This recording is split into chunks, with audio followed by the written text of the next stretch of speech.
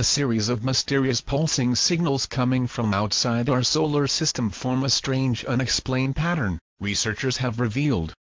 Known as fast radio bursts FRBs, just 10 have been discovered, and astronomers have no idea what they are. Now a new study has found that all 10 burst dispersion measures are multiples of a single number, 187.5.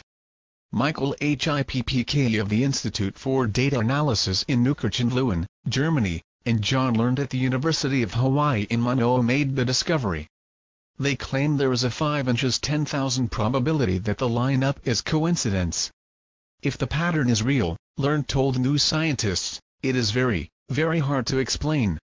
The results imply five sources for the burst are all at regularly spaced distances from Earth, billions of light-years away.